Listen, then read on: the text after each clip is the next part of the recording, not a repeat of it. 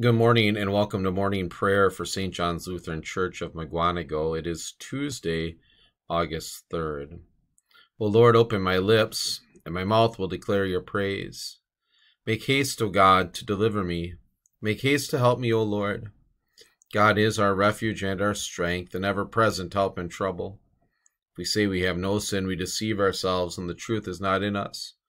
If we confess our sins, he is faithful and just to forgive us our sins to cleanse us from all unrighteousness. Jesus invites you, Come to me, all who labor and are heavy laden, and I will give you rest. In the name of the Father, and of the Son, and of the Holy Spirit, Amen. I thank you, my Heavenly Father, through Jesus Christ, your dear Son, that you have kept me this night from all harm and danger. Keep me this day also from sin and every evil, that all my doings in life may please you. Into your hands I commend my body and soul and all things. Let your holy angel be with me, that the wicked foe may have no power over me. Amen. Our devotion today is taken from St. Matthew chapter 25. Then the righteous will answer him, Lord, when did we see you hungry and feed you, or thirsty and give you something to drink? When did we see you a stranger and invite you in, or needing clothes and clothe you? When did we see you sick or in prison and go to visit you? The king will reply, Truly I tell you, whatever you did for one of the least of these, brothers and sisters of mine, you did for me. The word of the Lord.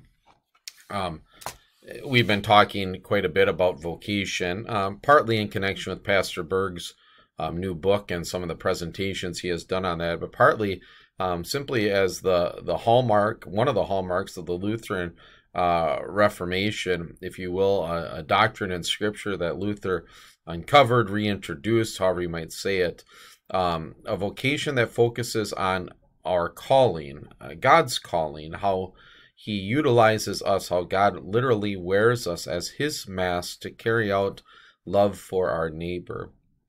And I just was struck this week, um, and probably week week ago, just the number of number of times I bumped into somebody in a different calling, a professional calling, if you will, and came away with a renewed appreciation for who they were and what they were able to do. And just think about uh, what a royal mess um, the it would be if if if I was carrying out that work. Um, when I was a pastor in Plymouth, Nebraska, we had the privilege of of building a new school, and I remember um, as exhilarating and exhausting as those months were. Um, one of the things I really uh, got to enjoy, maybe they were annoyed by it, but I really got to enjoy just being around everyday people um, on a daily basis uh, all the contractors, and, and you get to know some of them well. And, and I think about the foreman on the job. I can still remember his name, Bruce, and the conversations we would have, and how the Lord would allow those regular conversations to turn into something deeper. But thankful for, thankful for that Bruce was the foreman of that project. And lo and behold, we're doing this little construction project at school right now, and uh, and the the the guy who is leading the charge here from outside of our church, well, his name is Bruce too, and uh, I've had opportunities in these early mornings to chat with him and his co-worker and uh, and just marvel at at their art uh, what they can do um, with brick and mortar. Uh, these these hands can't do this head can't see it these eyes can't visualize it that work that is done. Um, i'm thankful when i go um, to a doctor's office and the, the people who work in that place in different fields but their their their gifts and um, how the lord uses them. What a royal mess of things um, i would make if if i were the one um, in charge at every turn and chapter of life we are able to encounter people who the Lord uses to, to bless us, to bless society, to bless our neighbor. We are all one in Christ Jesus, and yet we think about the different opportunities and gifts that God has given us and the freedom you and I have in the blood of Jesus Christ not to use those gifts to serve me, myself, and I, but in service to one another for the joy and betterment of one another. And lo and behold, Jesus adds this to it. When you do this and you carry out this work, you recognize it is not just your neighbor that you are serving, but it is Him. Whatever you do for the least of these, my brothers, you've done it also for me. And so this day I can thank God for those who serve in so many different vocations and those who exhibit so many gifts that the Lord has seen fit not to bless me with and I can rejoice that the Lord uses them for the good of his kingdom and the glory of his saving name. God's blessings to you as you serve him, and whatever it is you find yourself today, your callings pleasing to God because you're pleasing to God in Christ Jesus our Lord. Amen. In the morning, O Lord, I call to you.